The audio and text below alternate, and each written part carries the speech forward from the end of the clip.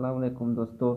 Subscribe कीजिए sympathetic boy को और इसके साथ मौजूद बेल आइकन को भी प्रेस कर दें, क्योंकि हम हर रोज़ नई नई वीडियोस आपके इंटरटेनमेंट और आपके नॉलेज के लिए डेली अपलोड करते हैं।